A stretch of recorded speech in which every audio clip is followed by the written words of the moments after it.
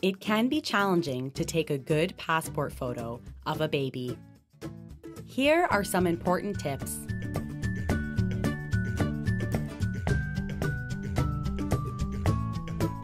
You may sit the baby on a plain white sheet in a baby chair. Or place a plain white sheet on the floor and lay the baby down on top of it.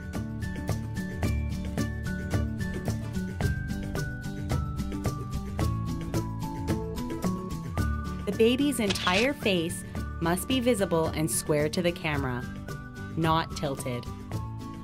The baby's eyes must be open. The mouth should be closed. However, with newborns, there is some flexibility.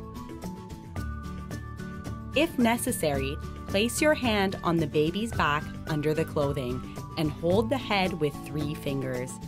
Make sure the hand is not visible in the photo. Make sure there are no shadows on the baby's face, shoulders, ears, or in the background. Photos are valid for six months from the date they were taken. We recommend that you call ahead of time to make sure that the photographer has experience taking passport photos of babies.